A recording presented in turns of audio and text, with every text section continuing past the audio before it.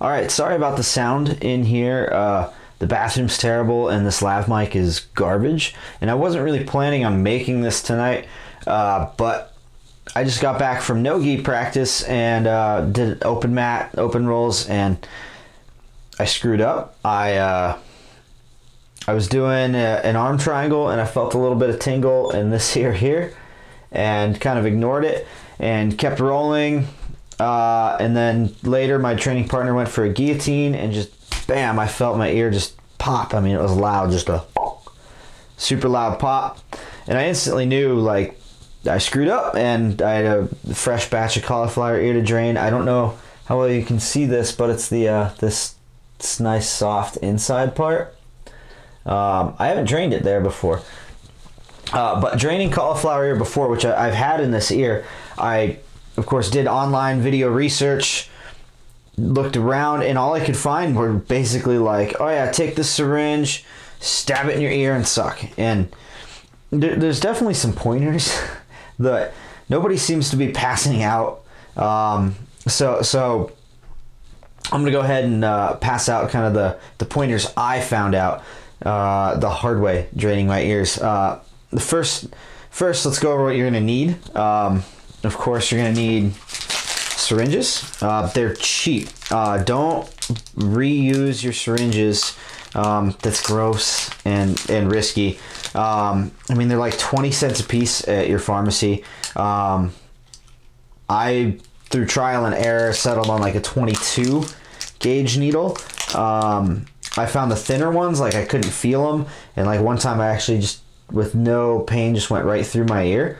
So 22 is a little bigger and it's easier to get the stuff out when it's kind of thick.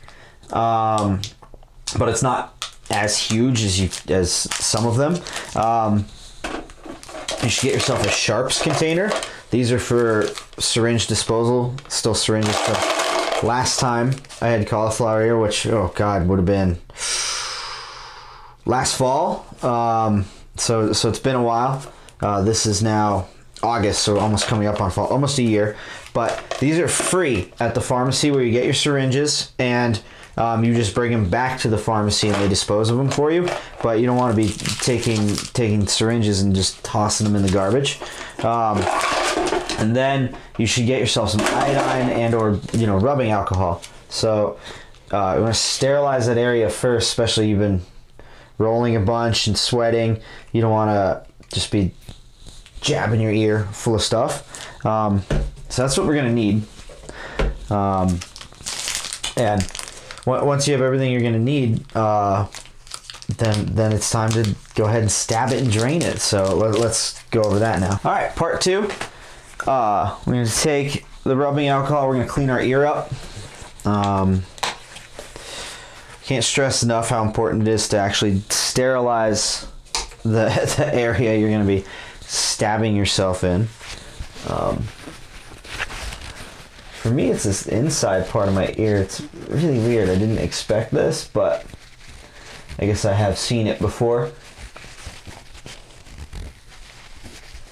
So we've got that all cleaned up. I'm going to take our syringe, and there's a mirror right here so I can see what I'm doing. Um, I don't know if you can see it, but take your syringe out of the package. It's going to have a protective cap on it. Um, can ignore that for now. Big thing nobody told me is the syringe is stuck in place. Uh, it's what's called stiction, and it's just been in place so long that there's it, it's it's stuck. There's so much friction, it's stuck. Um, once you break that initial stiction and it pops loose, then there's just the regular friction of the syringe and and the suction. Um, so you want to break that free first there's nothing really much worse than being stuck in your ear and then you can't get the syringe to draw. Um, from there, and take that protective cap off. Keep it somewhat handy. We're gonna need it. Um, and I'm gonna take the syringe here. I'm gonna. I don't know if you can how well you'll be able to see this or focus on it. Maybe if I pop out a frame. Nope. Okay. So the syringe has a bevel to it, and I'm gonna run the long side alongside my face so I can use my face kind of as a guide, keep keep myself stable. Um, it looks like it's way closer to my face on camera than it is. Uh, so I'm to keep it stable alongside my face. Um, and I'm to go in slowly because they're super sharp when you've when you've not used them. And because it's super sharp, I can go in nice and slow and it it won't cause as much damage as if I just jam it in there. Because we might have to drain this a bunch of times in order to uh, in order to get everything out. And then when I'm in there and I've got it mostly drained I'm gonna then kind of squeeze around the area and you'll see more come into the syringe just to make sure I get it all. No one seems to mention that either. That was really frustrating when I when I was first trying to figure this out. So I haven't drained this part of my ear yet. Let's uh, let's figure out if I can do this in a less than miserable fashion. Oh man, that is that is nice and fat and swollen. That sucks.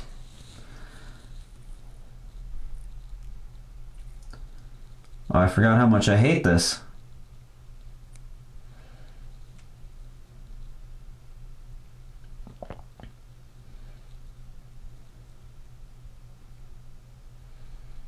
Okay, there's the initial pop. Pushing through initially kind of sucks, but you just gotta kind of deal with it.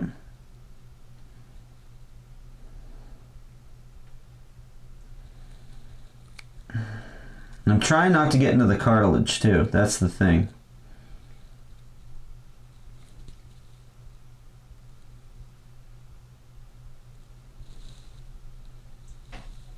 Okay, and you can check and see if you're all the way in by trying to draw on the syringe. If you can't draw on it, it's stuck, it's, it's at the skin level, which we're still at.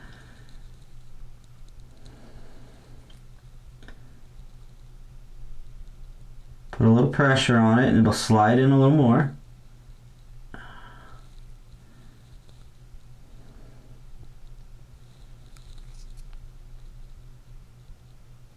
Okay, we're still in the skin.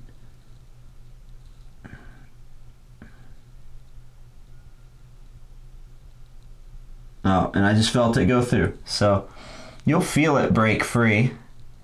And we'll draw on the syringe.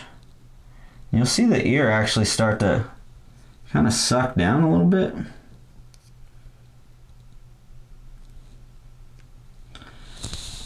And this in this spot might be kind of hard to, to squeeze around. But try to get all the excess fluid out. We want as much out as possible because the flatter the ear sits, mm, the better.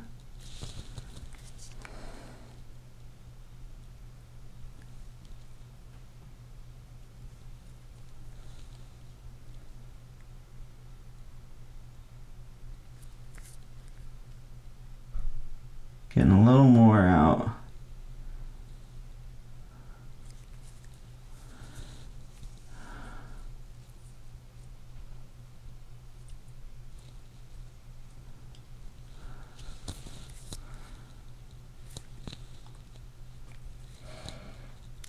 Mm.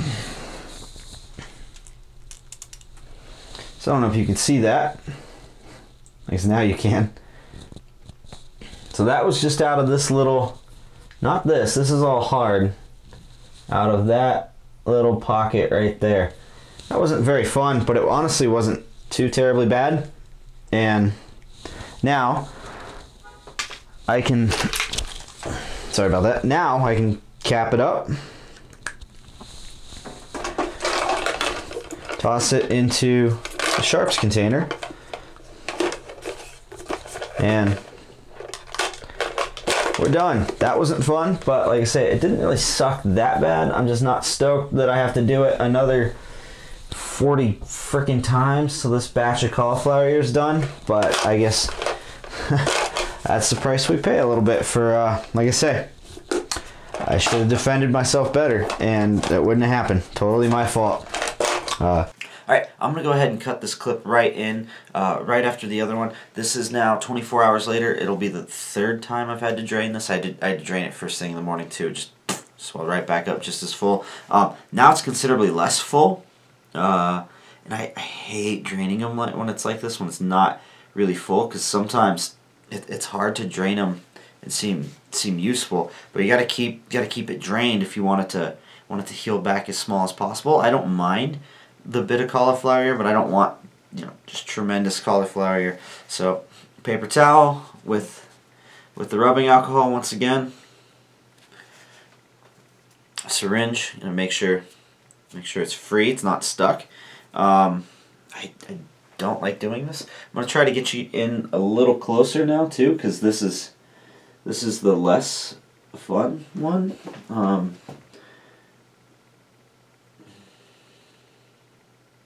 I won't know if you can hear me all right till the end.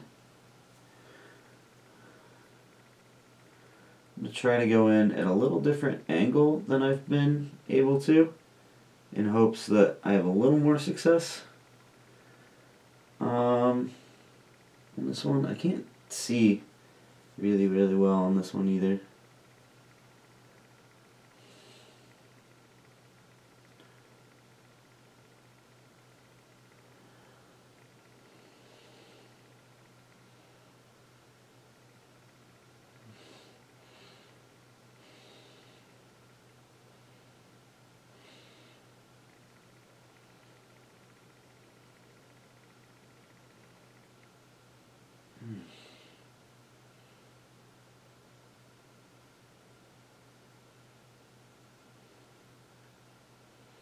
Keep some consistent pressure on it. Try not to go too deep because, like I say, it's there's not a lot of fluid left in there.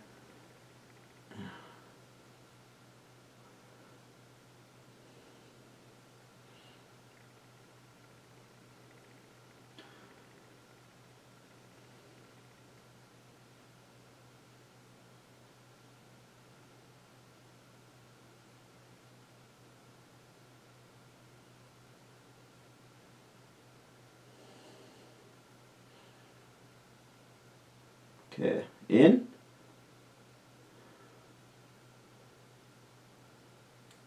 Mm. And that sucked down considerably flatter in there. Um, got as much out, it sucked tight. I knew I wasn't going to be able to squeeze any more out, and the syringe just sucked itself out on its own, so I knew it really squeezed down tight. I could feel it pushing against the cartilage in there. Don't do that. Don't do that.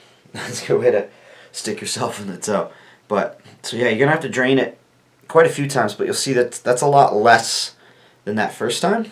And keeping it nice and flat before bed, once again, hopefully even less in the morning. And we won't have to do this for weeks and weeks. I wish I knew where my magnets were. Um, and then, and then headgear, man. Uh, it makes me feel claustrophobic when I roll, but today I had to roll with headgear. It got the job done. Um, it sucks, but if you don't want it to just keep getting worse and worse and spreading and spreading, you're gonna have to do the headgear. It's it's kind of part of it. Um, there's a reason. There's a reason it exists, and they keep using it because it works. But make sure it fits really well. Stays on. It doesn't just wrench on your ears. Um, and and yeah, wear your headgear till till basically till your ear isn't sore anymore, and then hopefully you will only have to drain it a few times, um, and less and less and less uh, is a good thing. So now we're gonna return to the regularly scheduled programming. If you end up having to do this, uh, like I say, just break that seal on the syringe first, you know, that stiction, and make sure you squeeze around the needle while it's in your ear oh man, it makes it makes a world of difference. And uh, you can take some magnets and keep everything sandwiched down once it's strained. Uh, really helps. Um, I have to find mine. I don't know where they're at. Um, anyway, hope you're uh, having fun with jujitsu or you know wrestling, whatever gave you your cauliflower ear, um, and hope it doesn't stop you because um, it's just it's just a small bump in the road. We can keep going. Oh yeah, be sure to uh, like, favorite, subscribe, uh, click that little bell um, down there at the bottom. That little bell that that's gonna make sure you get all the frequent uploads, um, as frequent as I can make them. Uh, spending a lot of time in the gym these days, and uh, it's gonna make sure you get all, all all the videos sent right to you as a notification, so you don't miss any of them, because uh, that wouldn't be any fun.